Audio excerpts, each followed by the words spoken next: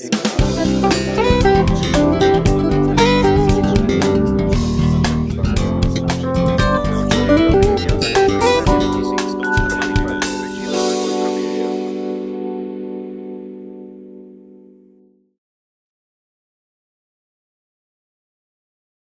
ste v novej funkcii, určite aj s novými plánmi. Tak určite každá funkcia, keď vstupuje človek do nového obdobia, nielen funkčného, ale životného, akokoľvek to pojem, po, budeme ponímať, tak vždy prichádza s novými plánmi. To je pochopiteľné. Ja som vo funkcii momentálne rok aj jeden mesiac a keď som nastupoval, tak so svojím novým kolektívom sme si takisto postavili nejaké nové ciele, ktoré by sme vo svojom funkčnom období chceli dosiahnuť. Asi to nie je ľahké v tejto situácii, v ktorej sa školstvo nachádza. Tak určite, tak ako všetky školy, nielen základné, stredné, ale aj vysoké, sa boríme s problémami, ktoré nás ťažia a keďže všetci žijeme z peňazí, tak tým najväčším problémom sú pochopiteľne financie, ktoré nám často chýbajú. Ako reagujete na kritiku školstva? E, tak určite požiadavky, ktoré e, vznášajú rôzne iniciatívy, ale nie len iniciatívy, ale predovšetkým reprezentácie, ktoré zastupujú či už e, učiteľov stredných, základných škôl alebo aj učiteľov vysokých škôl, tak sú oprávnené, pretože tých financií, ktoré štát venuje na rozvoj školstva, nie je dostatok. Ja určite chápem aj situáciu, že ak nie je z čoho, tak nie je čo dávať, ale myslím si, že oblasť školstva, oblasť zdravotníctva by mali byť naozaj prioritami. Priemysel nemá dostatok ľudí istých profesí a školy chrlia nových a nových absolventov. Je tam posun, je tam asynchron. Práve na to som možno tou predchádzajúcou vetou narážal, pretože si myslím, že e, tá požiadavka na rôzne študijné odbory, na rôzne profesie by nemala vychádzať z toho, čo tá škola chce, ako tých študentov príjme, ako ich vzdelá, ale čo potrebuje spoločnosť.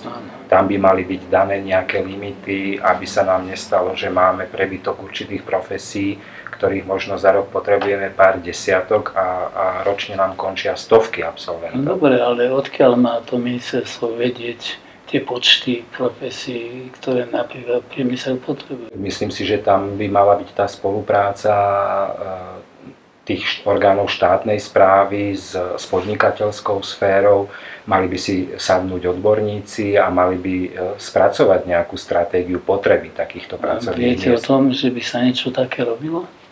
Ja si myslím, že určite čiastkové, čiastkovo sa v rôznych oblastiach e, koná. Vieme, čo chceme pre budúcnosť. Tak ja pevne verím, že všetky e, politické strany a ich zástupcovia, ktorí sa dostali do parlamentu a ktorí možno budú mať možnosť e, vytvárať vládu, tak tie priority, ktoré v tom poslednom období trošku tak rezonovali, práve to školstvo a zdravotníctvo, tak e, svojimi rozhodnutiami podporia a ja pevne verím, že v týchto oblastiach e, príjmu zásadné rozhodnutia, aby sa školstvo a zdravotníctvo posunulo. Akú má škola možnosť spolupracovať s podnikateľmi a či naozaj sa to deje? E, ja si myslím, že naša škola Ekonomická univerzita v Bratislave má v tejto oblasti celkom dobré výsledky. Jednak o tom svedčí to, že zamestnateľnosť absolventov ekonomickej univerzity je veľmi vysoká. My máme veľmi, veľmi nízke percento nezamestnaných, dlhodobo nezamestnaných absolventov. To je jedna vec, čiže o niečom to svedčí. A druhá skutočnosť je tá, že v rôznych formách e, univerzita spolupracuje s hospodárskou praxou. Napríklad e, sa zajtra bude konať na univerzite tzv. Deň absolventov, kde sa nám prihlásilo 45 spoločností významných slovenských a zahraničných mhm. spoločností, ktorí budú pre študentov prezentovať jednak svoje aktivity a jednak e, možnosti ich budúceho zamestnania. Takže vidím v tom, vidím v tom veľkú, veľkú perspektívu. A ešte to je, to je oblasť, ktorá sa týka povedzme už tých firiem a ponuky zamestnania, ale e, my v rôznych e, formách výučby spolupracujeme s hospodárskou praxou aj na tej úrovni, že vytvárame rôzne akadémie s firmami a spoločnosťami ktoré potom vstupujú do vyučovacieho procesu a riešia s určitými vybranými okruhmi študentov konkrétne praktické príklady. A študenti, študentom sa to jednak veľmi páči, a na druhej strane sa veľa naučia, pretože teoretické poznatky získajú na prednáškach a na týchto praktických eh, cvičeniach eh, sa dostávajú do reality pretože tam sa týždeň čo týždeň obmieniajú rôzne firmy a rôzne spoločnosti na, na určité okruhy problémov samozrejme. Čiže na jeden problém príde aj 4-5 spoločností, ktoré vždycky ten problém riešia z iného uhla pohľadu. To mi pripomína práve tie akadémie, o ktorých hovoríte, lebo ide vlastne o to bližšie spojenie potreb praxe a praxe ako takej s možnosťami škôl. Ja si myslím, že my sme v tomto začali veľmi dobrú cestu, pretože naozaj e, každá fakulta, predovšetkým samozrejme tie fakulty, ktoré sú zamerané na podnik, podnikanie, management v tejto oblasti e, s tými spoločnosťami e, jednak spolupracujú na úrovni prednášok, ale tieto spoločnosti často prichádzajú k nám s ponukou rôznych súťaží, s ponukou na riešenie rôznych eh, projektov, ktoré sú zamerané na určité prípadové štúdie a naši študenti v tej tímovej práci, pričom to nie sú len týmy vytvorené zo študentov jednej fakulty, ale sú to také interdisciplinárne týmy, majú a dosahujú veľmi pekné, veľmi pekné úspechy. Ehm, možno budem neskromný, ak sa vás zapýtam, poznáte knihu Podnika podnikanie? Ehm, s knihou Podnika podnikanie som sa stretol. Je pravda, že som do nej nemal tú možnosť nahliadnúť až dnes prvýkrát, ale tá kniha ako taká mi nie je úplne cudzia. To dielo mi nie je cudzie. Keďže som autorom tejto knihy, tak e, môžem povedať, že tam išlo práve o to, aby tie skúsenosti z praxe sa čo najbližšie dostali k študentom. Aby sa tie knihy používali a zdá sa, že je o ne záujem všade vo svete. Verím, že aj u nás sa tak stane. Ja pevne verím, lebo keď som mal možnosť nahliadnúť do tých kníh, tak vidím, že je tam veľmi veľa uh, údajov, veľmi veľa dát, uh, tabuliek, možno grafov, ktoré tým študentom približujú tú realitu, ktorá sa v tých firmách uh, uskutočňuje. A hlavne, že kniha vznikla na pôde výrobného podniku a priamo odráža skúsenosti, ktoré sme si konec koncov sami zbierali po tie roky podnikania. Veď to je veľmi dôležité podľa mňa, že sú tam naozaj skutočné ukazovatele, skutočné údaje, ktoré tým študentom dokážu prezentovať buď určitý vývoj, alebo odhaliť určité príčiny poklesu alebo rozvoja. Teraz budem mať takú odvážnu otázku. Keby ste boli ministrom školstva, čo by ste si predstavovali pre zlepšenie úrovne No, ťažká otázka, čo by som si predstavoval pre zlepšenie úrovne vysokého školstva. E, podľa mňa e, chýba vo svojej podstate e, možno také zdôrazňovanie alebo práca na tom, aby spoločenské uznanie učiteľa ako takého bolo na vyššej úrovni, ako je. Dnes sa často stretávame s názormi, že učiteľstvo je samozrejme poslanie, že to nie je práca, nie je to povolanie, je to poslanie, ale myslím si, že naozaj to spoločenské uznanie učiteľa je nedostatočné. Áno. E, takto veľa sa diskutuje o duálnom školstve. Je to z ministerstva. Myslíte si, že to je dobré riešenie? Eh, ja si myslím, že je to eh, dobré riešenie. Eh, som toho názoru, že táto oblasť vzdelávania bola vždy u nás rozvíjaná, bola podporovaná v predchádzajúcom období, pretože keď sa obzrieme späť akákoľvek výrobná fabrika, akýkoľvek podnik mal svoje učilište, kde si pripravoval svojich budúcich zamestnancov. Takže myslím si, že ten návrat k tomu je veľmi dobrý. Myslím si, že aj niekde aj na vysokých školách by sa možno dalo v tejto oblasti zapracovať, pretože existujú aj tzv. profesijné bakalárske napríklad študijné programy, ktoré by mohli byť prioritne orientované na to, aby absolventi bakalárskeho štúdia odchádzali priamo niekde do, do výrobnej, obchodnej alebo aj iné, a akékoľvek inej praxe. Vy ste priamy účastník vzdelávacieho procesu a musím povedať, že ako si tak rezonuje v spoločnosti, že terajšie diplomy nemajú plnú hodnotu? To si nemyslím. Ja si nemyslím. Možno sú diskutované, eh, eh, je diskutované vzdelávanie na rôznych typoch eh, vysokých škôl alebo možno aj stredných škôl, keď ideme už ešte trošku nižšie, ale ja si nemyslím, že naše diplomy nemajú hodnotu. Pokiaľ poviem o, a budem hovoriť o diplomoch, ktoré dostávajú absolventi ekonomickej univerzity, tak sme sa nikdy nestretli s tým, že by študent pri odchode do zahraničia, či už za prácu alebo ďalším štúdiom, mal problém s uznaním nášho diplomu. Vôbec nebolo myslené osobne na vašu školu, ale sú fakulty alebo školy, ktoré chrlia nových absolventov a bez ohľadu na to, či sú využiteľní v praxi alebo nie. K tomu by som sa nerad vyjadroval, či chrlia potrebných alebo nepotrebných absolventov. Tu by som sa zase vrátil možno na začiatok nášho rozhovoru, že naozaj by bolo dobré spracovať nejakú, nejakú stratégiu, o potrebe rôznych e, druhov študijných odborov, rôznych e, typov e, študijných programov, rôznych typov povolaní, aby, aby sme na základe tejto analýzy vedeli, čo perspektívne naša spoločnosť, kde sa bude vlastne Ale ako? uberať. Na, na ja si myslím, že na to sú, alebo mali by byť odborníci, ktorí by mali byť schopní za podpory možno aj, aj niektorých vysokých škôl takéto stratégie spracovať. Ja môžem povedať jedno, že v našej firme vieme presne, aké potrebné profesie. A isto aj iné podniky by to vedeli povedať. Súčet týchto požiadaviek by mohol poslúžiť ako východisko. To je skutočne skoro presné údaje. To treba asi niekde iniciovať, e, zrejme. Robíme to práve teraz.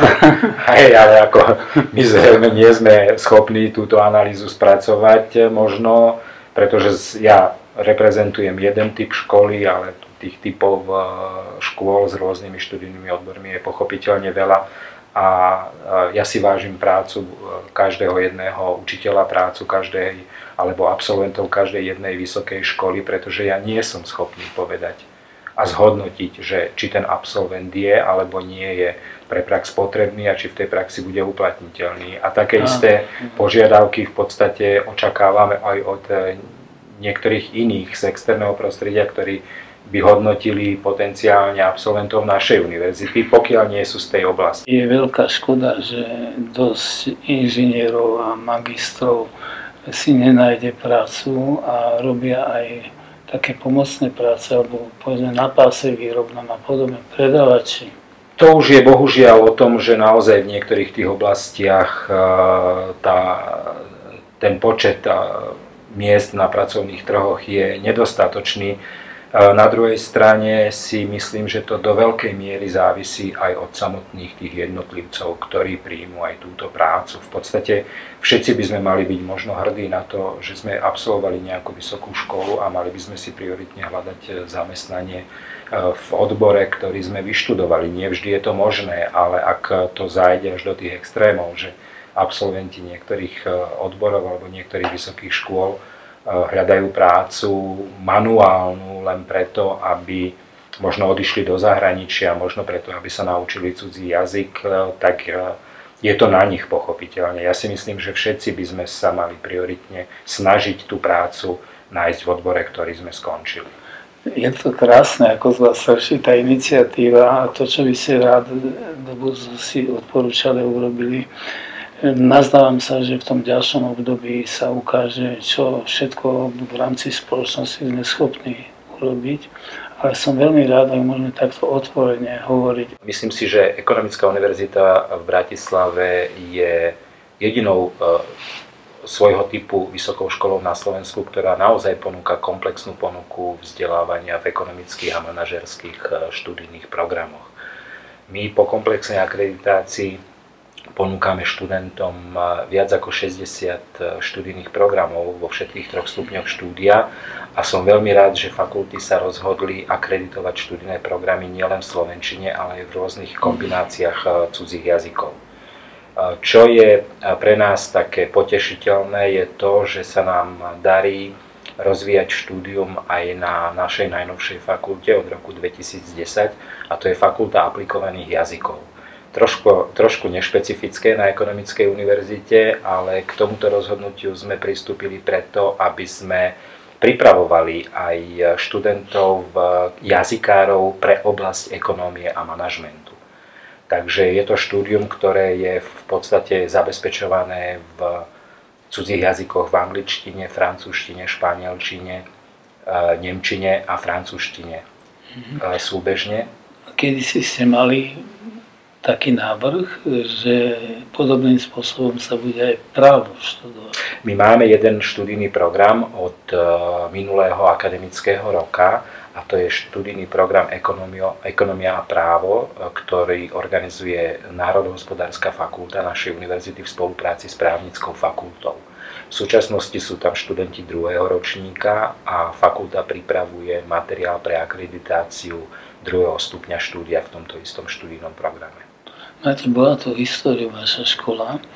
E, čím sa líši tak na prvý pohľad to, čo sa učilo pred desiatimi rokmi a to, čo dnes sa učí? Eh, či pred desiatimi, možno pred 15 rokmi, myslím si, že tie naše študijné programy museli prejsť dosť radikálnou eh, zmenou. Predsa od e, tých oblastí, ktoré sme vyučovali, alebo ktoré škola vyučovala do roku 1990, s tými by sme dnes už nevystačili. Takže myslím si, že naši učitelia naozaj vykonali veľký kus práce, pretože e, vznikli nové alebo pribudli nové študijné odbory, moderné študijné odbory, ktoré predtým neexistovali a ktoré musíme neustále sledovať, aby sme na, túto, na tento vývoj reagovali aj ponukou nie študijných programov, to, to nie je také jednoduché, lebo ten treba akreditovať komplexne, ale aspoň ponukou v nových moderných kurzov a predmetov. Pokiaľ viem, určite aj marketing, vy osobne. A mňa zaujíma, čo sa udialo v tomto smere, pokiaľ ide o marketing v tom novom prostredí. Ja som pôvodne teda inaugurovaný pre o, o, vedný odbor obchod a marketing. To mhm. znamená, že ten obchod a marketing vždy boli mojimi takými oblastiami záujmu.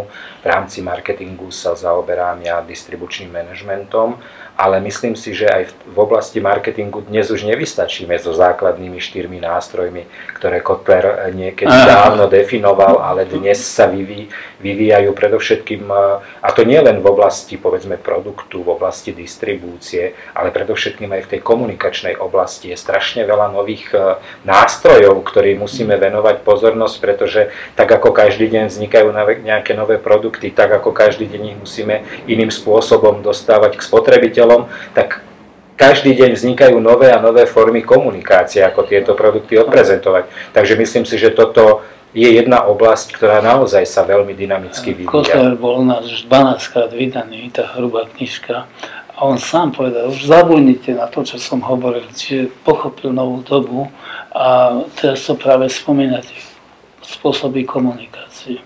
Čo, čo je tam nové? Tak e, nové médiá komunikačné vznikajú tý, tým pádom sú spojené aj nové formy, nové formy marketingu, ktoré už nejdú len na prezentáciu produktu tomu spotrebiteľovi, ale snažia sa dostať do psychiky toho spotrebiteľa a iným spôsobom zabezpečiť, aby spotrebiteľ reagoval na nejaké marketingové aktivity, aby ďalej tie posolstva o produkte prenášal. Takže ja si myslím, že tá oblasť komunikácie naozaj, marketingovej komunikácie je v dynamickom rozvoji. No ale sú tam aj rizikové miesta, ako povedzme počítačové vírusy a ich zneužitie. E, to určite, nie som odborník e, na tieto oblasti, ale myslím si, že tak ako v každej oblasti sa aj v tejto e, nájdu, nájdu dôvody na to, ako do nich preniknúť a ako zmeniť to, ten nástroj alebo, alebo, alebo zmeniť to ovplyvňovanie spôsobom, ktorý pôvodne prioritne nebol e, očakávaný, alebo nebol, nebol ten zámer. Áno, a chcem sa ešte spýtať na to, či vaši študenti majú možnosť zúčastniť sa nejakej praktickej výuky v živom teréne. E, v niektorých študijných programoch majú študenti ako súčasť študijného programu aj e, prax ktorú musia realizovať. Nie je to v rámci semestra, väčšinou im to odporúčame vtedy, keď nemajú výučbu, ale dovolím si tvrdiť, že veľká väčšina študentov našej univerzity popri štúdiu aj pracuje a praxuje. Nedá mi, musím sa opýtať niečo na, na tému učiteľia. Kedysi ak mal byť niekto docentom alebo profesorom, musel absolvovať aspoň dva roky praxe v nejakom podniku. Potom mohol začať habilitáciu. Pomýšľa sa na takýto spôsob nejakej zvyšovania kvalifikácie? Dnes to nemáme v našich kritériách, ktoré sú potrebné pre získanie docentúry alebo pre inauguračné konanie takáto prax v podniku nie je predpísaným kritériom. Dnes sa kladie veľký dôraz na oblasti vedy a výskumu a publikačnej činnosti, okrem samozrejme pedagogických aktivít, takže zatiaľ sme nad tým ani neuvažovali. Ja sa obávam toho, že veľa výskumov je nevyužitých, že sa obhája, oponujú, všetko prebehne a dá sa to do knižnice, nikomu to nepomôže. E, záleží od toho, možno to záleží od toho týmu, ktorý rieši nejakú výskumnú úlohu, či e, si uvedomuje povedzme dôležitosť toho výskumu alebo tých výsledkov a či má vôbec záujem ich prezentovať. Pretože na druhej strane máme e, veľmi veľa výsledkov vedecko-výskumných, ktoré prezentujeme v spolupráci s tými, pre ktorých boli tie výskumy realizované poslednom období napríklad univerzita a tým e, ľudí realizoval výskumné štúdie pre zväz spracovateľského mm. priemyslu, e, pre, pre zväz strojárskeho priemyslu alebo automobilového mm. priemyslu, takže sú tam aj výsledky, ktoré sa stretávajú s odozvami, e, s odozvami z praxe. A máte spoluprácu so Slovenskou akadémiou vied? Samozrejme, univerzita mala vždy spoluprácu, veľmi úzkú spoluprácu. Prebehlo veľká diskusia o tom, či sa to má osamostatniť ten výskum na škole, či to má byť spolupráci s akadémiou ako to je s doktorantmi a podobne. My spolupracujeme teda s Akadémiou vied nielen na nejakých spoločných projektov, ale aj na doktorantskom štúdiu. Mm. Národohospodárska fakulta napríklad e, s Ekonomickým ústavom Slovenskej akadémie vied e, majú aj spoločných doktorandov, alebo teda Akadémia vied vzdeláva doktorandov na Národohospodárskej fakulte. Čiže tá spolupráca tu vždy bola a myslím si, že je veľmi úzka už, už dlhé, dlhé roky. Áno. Mne sa zdá byť niekedy necelkom dobrým javom, že mnoho už dnes aj e, nositeľ titulu PhD e, pracuje úplne v iných profesiách, napríklad robí fotografa. E, to žiaľ sa stretávame s týmto aj dnes. Často tí záujemcovia o doktorantské štúdium možno nejdú študovať doktorantské štúdium zo záujmu o toto štúdium, ale majú možno iné dôvody a iné motívy. Takže s tým sa, nehovorím, že často, ale stretneme sa s, e, občas e, s tým, že absolvent doktorandského štúdia sa uplatní v inej oblasti. E, samozrejme, ak sa pozeráme na doktorandské štúdium ako na prípravu našich potenciálnych budúcich kolegov, tak by to mali byť predovšetkým uchádzači, ktorí majú záujem pracovať vo vysokom školstve a venovať sa vede a výskumu. PhD je tretí stupeň ale keď to porovnáte dnes s hodnosťou kandidáta vied, vidíte v tom nejakú súčasnú výhodu? E, nemyslím si, že, je to, že nejakú výhodu by som v tom videl. Ja to skôr chápem naozaj ako, ako rovnocenné e, štúdium s tým, čo sme študovali kedysi my ako kandidatúru, ale nemyslím si, že... Ale ty ste mali školiteľa, človeka, s ktorým ste podobne mohli rozoberať tú úlohu. No ale to existuje aj dnes. Každý, má svoj... Každý musí mať svojho školiteľa. Pochopiteľne školiteľ vypíše témy a uchádzač sa prihlási na konkrétnu tému a potom by mal s tým školiteľom spolupracovať. Mne sa niekedy javí, že sa skôr naháňajú študenti, aby študovali. E, to nie, nie je to celkom tak. E, samozrejme, že pre rôzne posudzovanie v rámci akreditácie je veľmi hmm. dôležité, aby škola mala aj doktorantské štúdium, pretože existujú kritéria, ktoré práve vychádzajú z hodnotenia e, doktorantského štúdia. A na druhej strane ale dnes e, univerzity platia svojich interných doktorantov z vlastných dotačných prostriedkov. To hmm. znamená, že oni musia rozhodnúť o tom, či sa im oplatí taký alebo onaký počet študentov doktorantského štúdia A potom musíme samozrejme klásť veľký dôraz aj pri výbere tých potenciálnych doktorandov, pretože naozaj musíme hodnotiť, zhodnotiť veľmi dôkladne tie motívy toho uchádzača a jeho schopnosti alebo predpoklady na to doktorantské štúdium. Ja nie som povolaný, aby som zaujímal stanovisko k úrovni štúdia v rámci 3. stupňa, ale e, tej ašpirantskej príprave sa mi zdalo, že to bolo hĺbšie štúdium na konkrétnych problémoch a bolo treba robiť minimovú prácu, minimovú obhajobu, až potom riešiť štátnu výskumnú spolu s tým školiteľom a tak ďalej. A to je veľkú zodpovednosť k tomu, aby vôbec mohol byť pripustený k obhajobu. Pokiaľ ide povedzme o tú formu štúdia, ja keď by som to posúdil možno zo svojich vlastných skúseností, keď som e, absolvoval e, štúdium kandidatúry a keď porovnám s dnešnými PhD študentami, takisto mám taký subjektívny pocit, mm. že keď som išiel na nejakú skúšku, tak som sa na tú skúšku musel veľmi dlho mm. pripravovať, aby som ju dokázal úspešne zvládnuť. A veľmi často sa stávalo, že veľa uchádzačov o tú skúšku v, v ten daný termín aj neúspelo, tam si myslím, že, že to štúdium z tohto pohľadu bolo náročnejšie. Samozrejme aj ten prístup e, k materiálom e, bol zasa vzhľadom k tomu, že neboli k dispozícii podkladové materiály, ani literatúra, nebol internet, tak to bolo stiažené. Tí súčasní študenti doktorandského štúdia majú oveľa jednoduchšiu situáciu v zabezpečení študijnej literatúry. Ale pokiaľ ide o ich účasť na riešení projektov, tak e, vlastne každý doktorant musí byť zapojený do nejakého výskumného projektu, v ktorom je zapojený povedzme jeho školiteľ. Takže e, takisto musí spracovať e, nejaký, nejakú minimovú prácu pre dizertačnú skúšku. Takže ja si nemyslím, že v tomto by to mali súčasní doktorandi e, jednoduchšie. Ešte je tu jeden rozdiel. Vtedy bolo dvojstupňové štúdium, nasloval doktorát vied. To dnes neexistuje. Ehm, ja si nepamätám v poslednom období, že by z pôdy univerzity eh, bol nejaký uchádzač o doktora vied.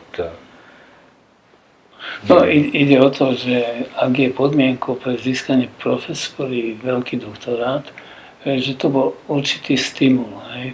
A vlastne to vedecké štúdium sa predlžilo a musí byť konkrétny výsledok zaužívaných praxi a známy. No ale v súčasnosti pre získanie titulu profesor sa nevyžaduje veľký doktorát. Ano. Stačí teda e, PhD, ale, ale, pred, práve, ale samozrejme k tomu, k tomu musí predchádzať ešte práve docentúra. o tom hovorím, že ten stupeň prípravy do tej profesie učiteľa vysokoškolského, ktorý má sám seba rozdávať tým mladým, je hlboko vnútri, prežitý, skúsený a tak ďalej, či takéto podmienky majú dnes profesori, alebo takéto požiadavky. Ja si myslím, že tie kritériá na profesúry sú veľmi náročné.